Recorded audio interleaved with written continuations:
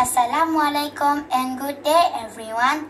Salam fly kenalan fly and salam menjulang pendidikan daerah Subis. I am Putri Yunasha binti Abdullah. I am from Sekolah Kebangsaan Tanjung Belipat, Pejabat Pendidikan Daerah Subis. Ladies and gentlemen, today I would like to introduce to you about my five favorite books. The first book is Umam. It was written by Isabella Jali. It was published in 2013.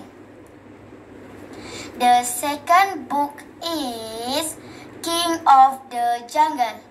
It was written by Sakina Nik Muhammad Naziman.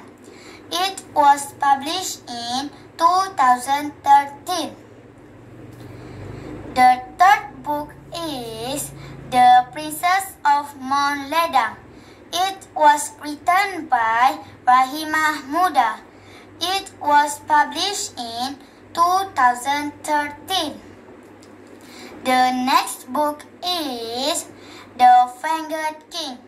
It was written by Asma Fadila Habib. It was published in 2013. The last book is Bawang Merah Bawang Putih. It was written by Muhammad Sami. It was published in 2010. Dear everyone, now I would like to give a good briefing about one of my favorite books. Here it is. This colorful book entitled Bawang Merah Bawang Putih. It was written and illustrated by Muhammad Salmi. It was published in 2010. As you know, Bawang Merah Bawang Putih is one of the Asian legends in Malaysia. Dear everyone, firstly, let's talk about the book cover. On the book cover, we can see colorful pictures and illustrations. We can see a picture of a village house. We can see pictures of three women too. The pictures and illustrations may help us to get the overall idea about the story. Dear everyone, secondly, let's talk about the setting and the characters in this story. This story took place in a Malay village a long time ago. The main characters in this story are a kind-hearted lady named Bawang Merah, a mean lady named Bawang Putih, a cruel woman named Mak Kundur, a loving woman named Mak Labu. Dear everyone, thirdly, Let's talk about the synopsis of this story. Bawang Merah and her mother, Mak Labu, live with her stepmother, Mak Kundur, and her stepsister, Bawang Putih. Although Bawang Merah is constantly bullied by her stepmother and her stepsister, her mother, Mak Labu, teach her to be patient on in the face of hardship. One day, Mak Gundur pushed Mak Labu into the river.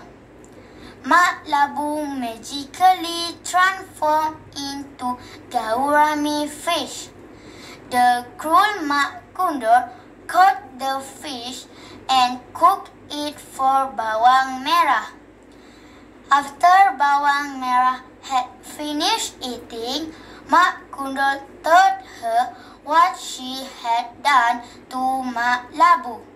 Bawang Merah was very sad. then she gathered all the fish bones and buried them in the forest. The next day, the fish bones magically transformed into a big banyan tree. There was a swing hung from one of the branches. Bawang merah sat on the swing and the swing began to move by itself. She felt very happy and started singing. As the Sultan and his men went out hunting in the forest, they heard an enchanting voice. Lastly, the Sultan fell in love with Bawang Merah and asked for hand in marriage. Dear everyone, I love this story because I have learned two valuable moral values from this story. Firstly, this story teach me about kindness. Please be kind to other people, guys. Do good and good will come to you.